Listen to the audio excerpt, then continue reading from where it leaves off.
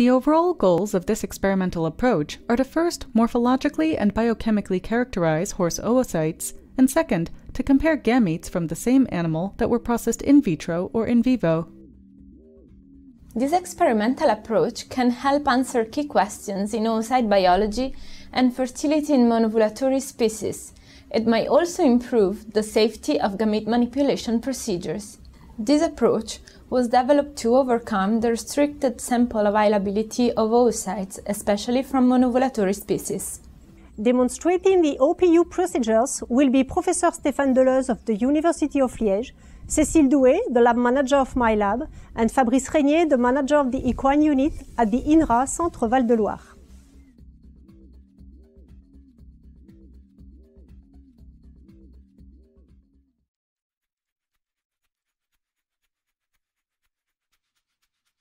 On a daily basis, assess the diameter of the ovarian follicles in a cohort of adult mares using ultrasound.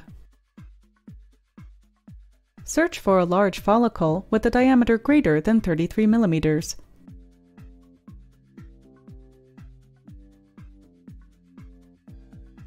Once found, prepare to inject 1500 units of human chorionic gonadotropin to induce the maturation of the oocyte into a dominant follicle. Next, locate the jugular furrow and swab the injection site with alcohol.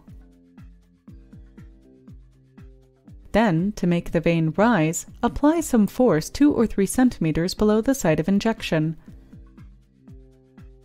Insert the needle almost parallel to the neck, aspirate slightly to ensure that the needle is in the vein, and inject the hormone.